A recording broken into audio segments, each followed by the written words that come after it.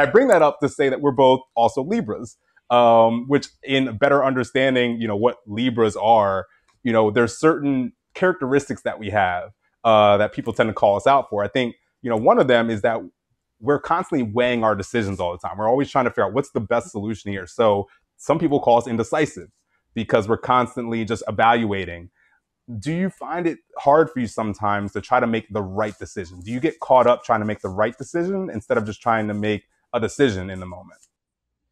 Yeah, so um not anymore, right? And I think um I get really anxious actually when I can't make a decision.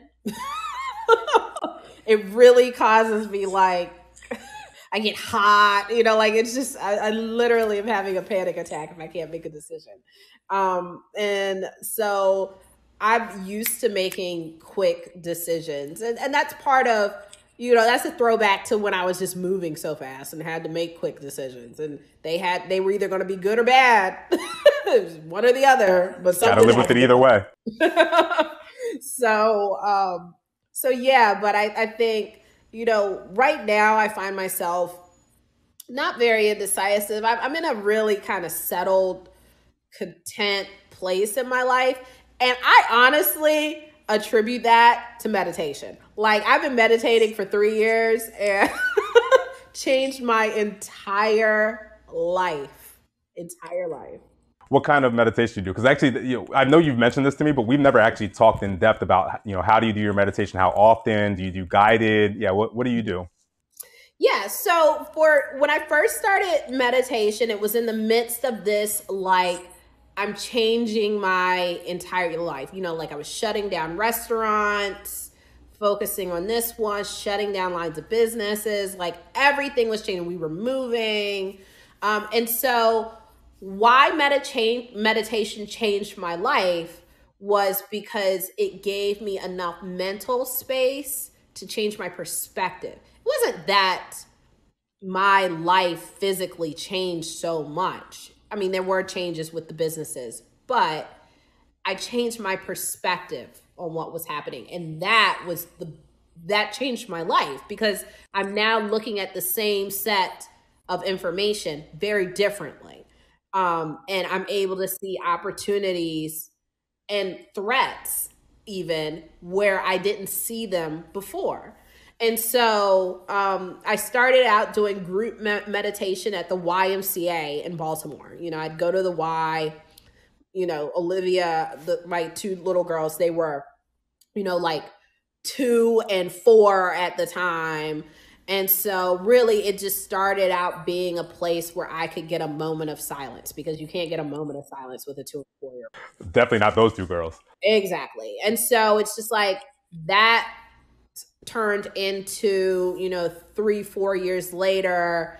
Um, you know, I still go to this group meditation, but I also have my own personal practice where, you know, I'm on the Calm app like 10 minutes a day, right? Like that's it.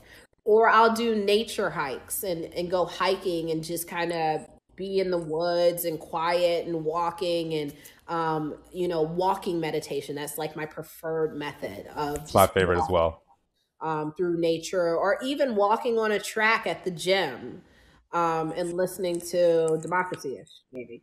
Thanks for making the shout out for one of our DCP shows. I don't know. I don't know how you meditate listening to Democracy Ish, but yeah, thank you. Well, maybe it's before after that, but.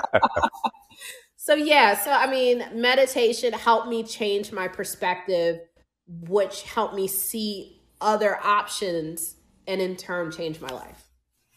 Yeah, it sounds like it almost helped you kind of slow down, at least your thought process, to yeah. help kind of slow things down and take a step back from yeah. just the day to day craziness. Yep, absolutely. Yeah. yeah, one of the other things that Libras tend to be known for is that we are people pleasers. Like we want everybody to love us and we want everybody to love each other.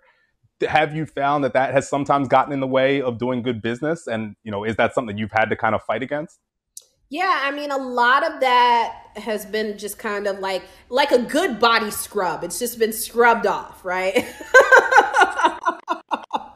so yeah, I left my people pleasing behind me because what I found out was no matter what I did, people were never somehow pleased, right? so true. um, and so I, you know, one day, and I don't know when it happened, a few years ago, and I probably said this in my head, but it was like such a defining thought that I still remember it.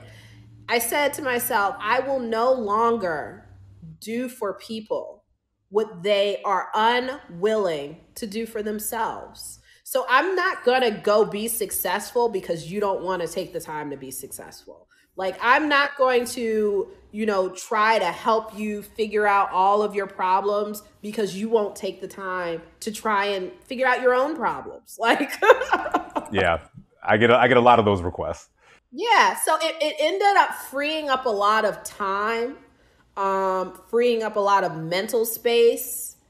Um, and it's one thing if someone is trying to help themselves. I'm all in, right? I'm all in if you're trying to help yourself and you need some help. But what I'm not all in in doing is trying to do something for you that you wouldn't even do for yourself. You're unwilling to do for yourself.